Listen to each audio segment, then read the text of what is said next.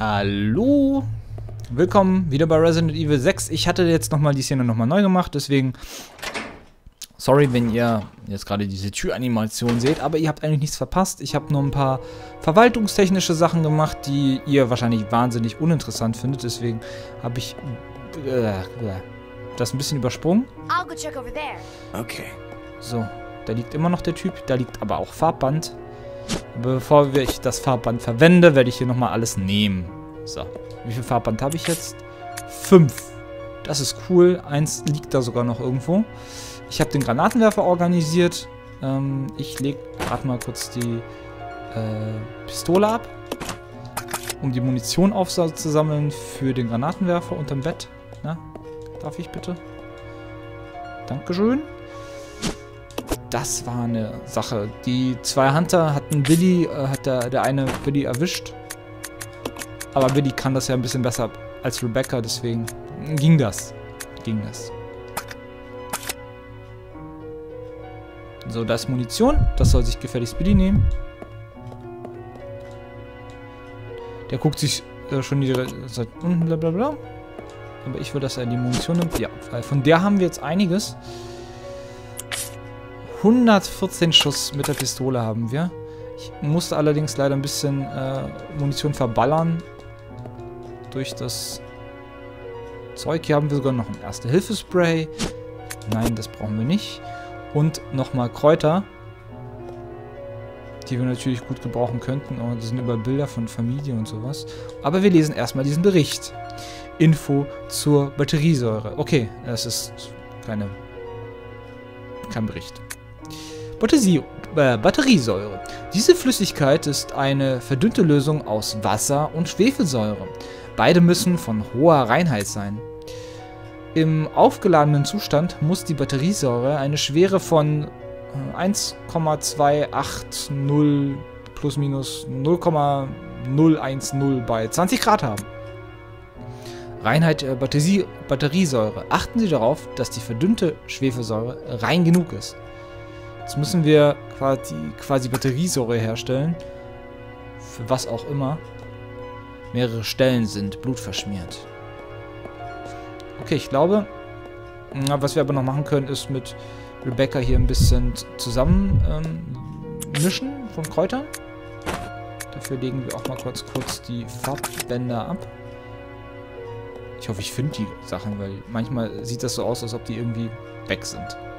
Verschwunden grünes Kraut mitnehmen. Yep. Und das mitnehmen. Ja, und den oberen Gangzombie da in diesem Viereck, den habe ich nicht, natürlich nicht getötet, weil... Musste ich nicht, war ja nur einer. Und da oben gibt es halt dieses äh, rote Ding. Das ist das Einzige, was, worauf man vielleicht noch achten muss. Aber das sonst ist alles easy. So. Ja, das kann sie mal mit sich führen. Jetzt gilt es allerdings... Ja, ich muss das Farbband wiederfinden. Ah, da ist es. Sehr schön. Gefunden. Jetzt können wir endlich mal sicherheitshalber speichern. Das ist nämlich wichtig. So, Billy hat das relativ gut gemacht. Dann kann ich ja hier auch mal Rebecca mit K2, die war ja auf diesem Berg oben, auf dem K2. Kann ich das mal überspeichern? So, ich bin jetzt mal gespannt, was nach diesem äh, Raum kommt. Quartiere. Nach den Quartieren kommt. Wir können mal auf die Karte linsen. Und da sehen wir, dass da eine Treppe nach unten geht und ein schmaler Gang ist. Das ist äh, nicht so toll. Nein, ich, ich suche eigentlich die Pistole, aber naja. Gut.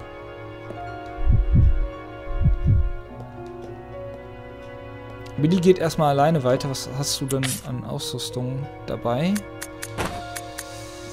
Äh, das. Weiß gerade nicht.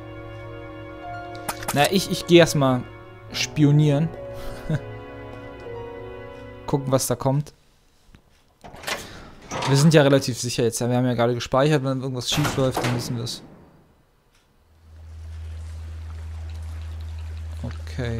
Okay. Wir haben hier diese Egel. Ein voller Geruch hängt in der Luft. Anscheinend wurde das Luftfiltersystem abgeschaltet. Aber von wem?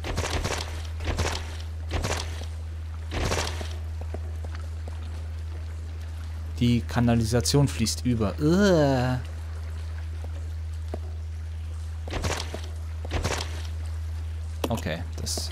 Schon gelesen.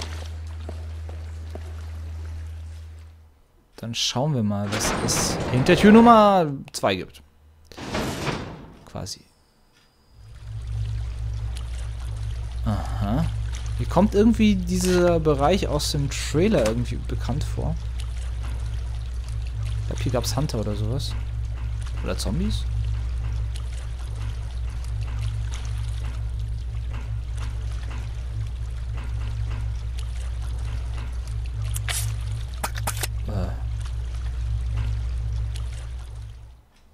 Keine Ahnung. Ich gehe erstmal weiter.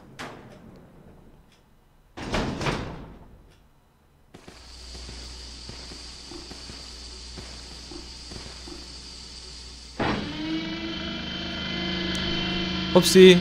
Ähm.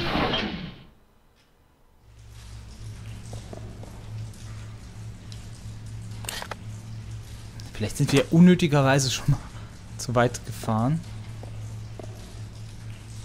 Okay, hier scheint es erstmal sicher zu sein. Uh, Umbrella Compression. Sieht aus wie eine Spritzhülse für Chemikalien. Der Rand ist total schmutzverkrustet. Ein Verdünner haben wir noch. Ein kleiner Generator. Er scheint total kaputt zu sein.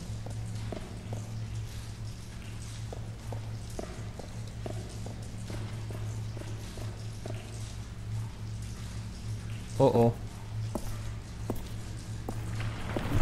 Oh oh. Äh, Billy? Ich will ja nichts sagen, aber hinter dir. Na, der hat äh, ziemlich nasse Füße. Ist nicht sehr gesund. Verflucht. Ich hoffe, für ihn gilt dasselbe wie für bei Rebecca.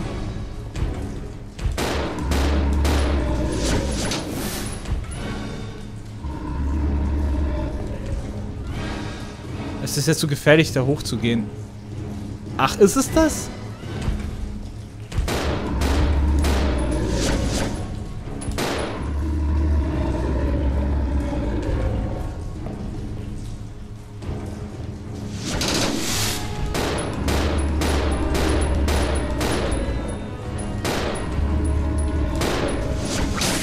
Ah, das war dumm.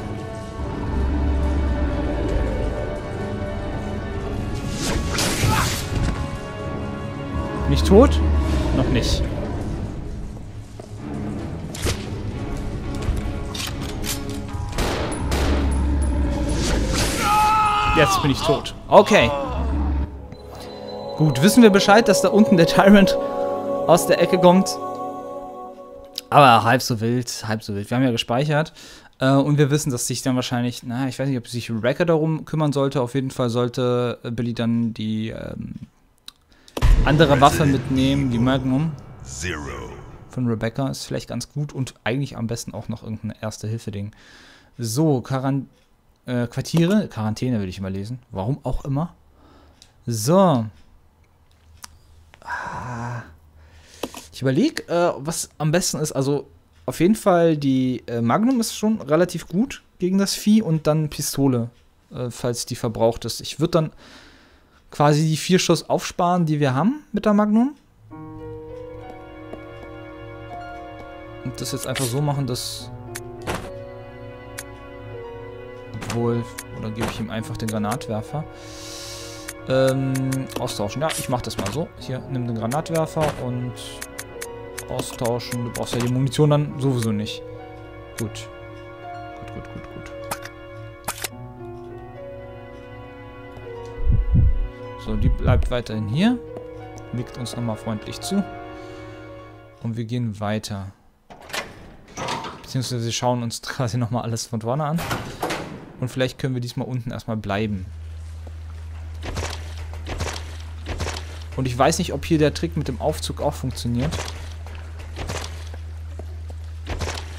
Ah, hier summt das so. Ich denke gerade, mein Rechner läuft äh, heiß. Da gibt er nämlich auch so brummige Geräusche von sich. Ach, lass, lass mal die Mistdinger da, wo sie sind.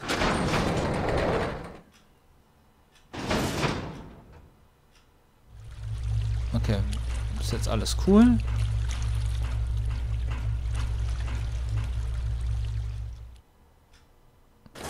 Alles easy, man. Alles easy.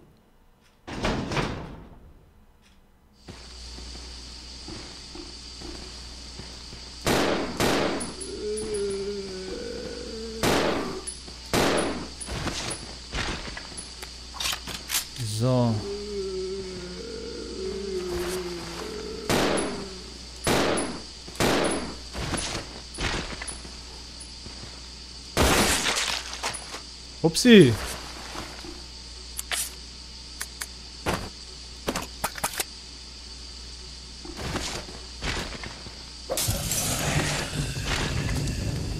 Brenn. Ich hoffe, der brennt auch. So.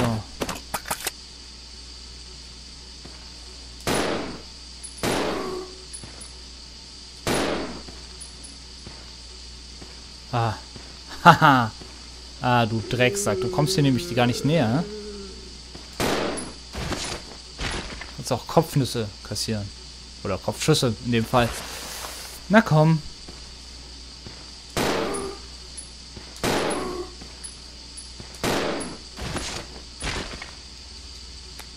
Ey, wie viel hältst du denn noch aus?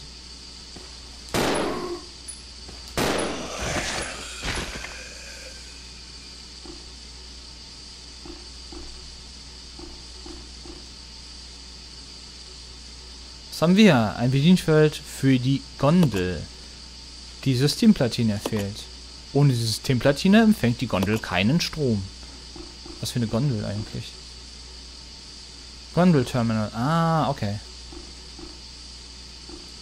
Was haben wir hier noch für einen Bericht? Tagebuch des Werksleiters. 10.5. Verdammt, warum wird normaler Industriemüll hierher gebracht? Diese Anlage gehört der Umbrella Corporation. So viel Müll können wir nicht verarbeiten. Noch dazu schicken sie uns Giftmüll, den wir nicht entsorgen können. Was sollen wir damit machen? 24.07. Die wollen scheinbar das Werk schließen. Kein Wunder. Nach dem, was hier lief. Es war nötig, aber ziemlich plötzlich. Bislang war es ihnen auch egal. Hauptsache, ich komme hier raus. Mir ist egal, was die tun. Okay. Klare Ansage.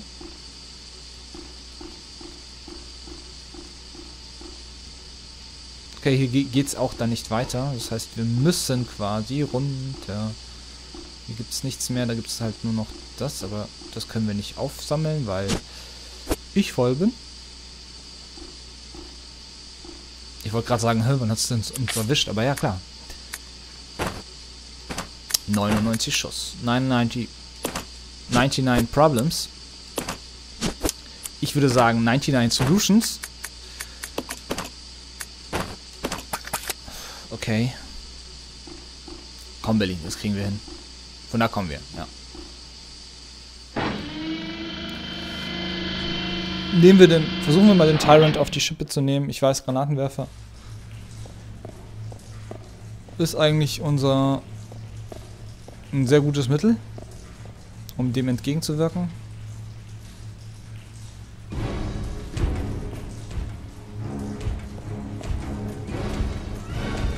Oh shit, ey. Ich hasse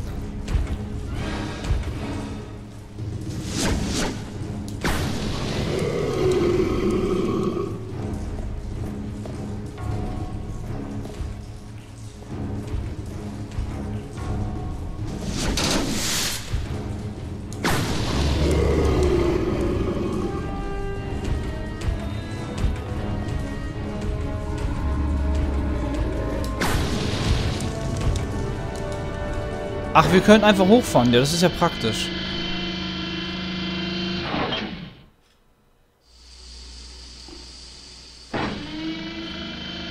Aber ich glaube, ich muss trotzdem gegen ihn kämpfen. So oder so. Alter, boah. Okay, es ist nicht praktisch hochzufahren. Ganz und gar nicht.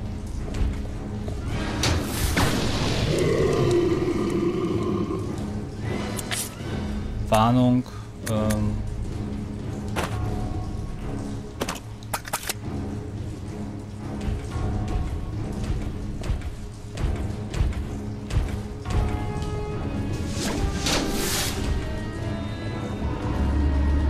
äh, er zieht überhaupt nicht auf ihn. Was ist da los?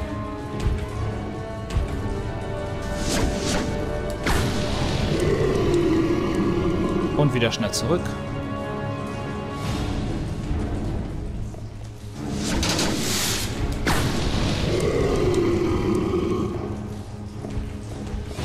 Bin mir nicht sicher, ob es das war. Ja, es war's.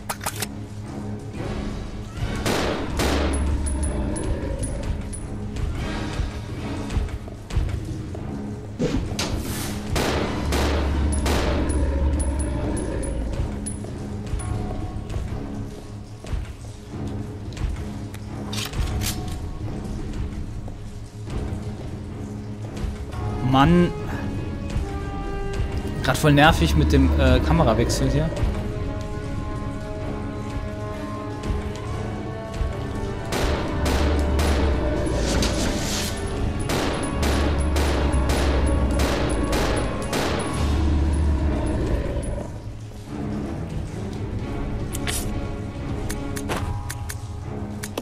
Mal gucken, wie viel ich noch in ihn hineinpumpen muss. Alter, scheiße. Doch noch erwischt.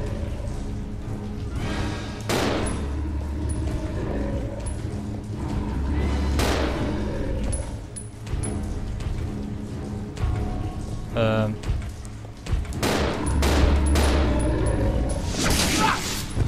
Ist blöd. Das ist ganz blöd.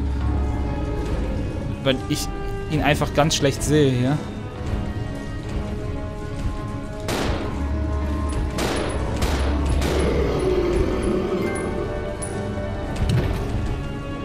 Am Ende des Wahnsinns.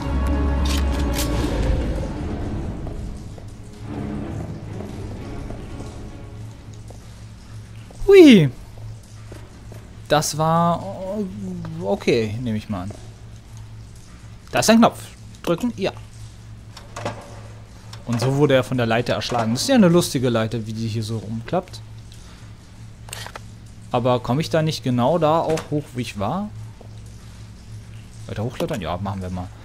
Ja, wir haben äh, zwar unsere ganze Napalm-Munition jetzt verschossen in das Ding, aber hey, was soll's.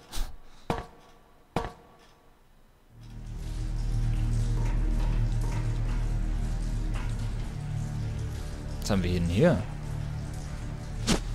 Eine Systemplatine. Nehmen wir mal mit. Oh, wir sind sogar noch gesund. Hätte ich jetzt nicht gedacht, aber hey, okay. Freut mich. Die Trennschalter wurden zerstört, der Strom scheint, ja, das, das wissen wir schon. Okay, das ist dasselbe. Das Rohr ist an mehreren Stellen defekt. Sieht allerdings nicht nach Rost aus.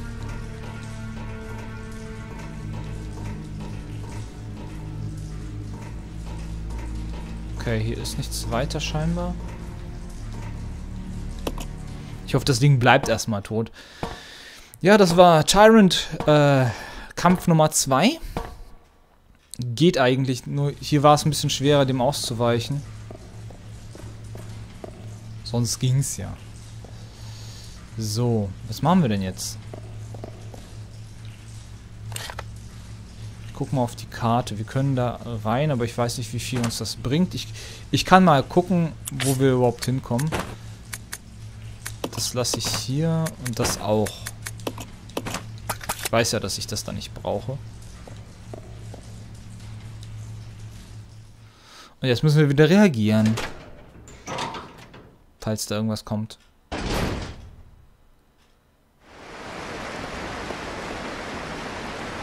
Okay, wir sind draußen.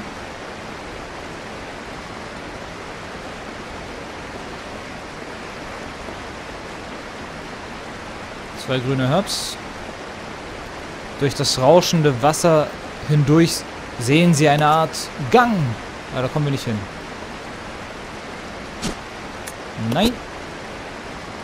Ich wollte es noch markieren. Dass ich weiß, das sind... Da ist was zu holen.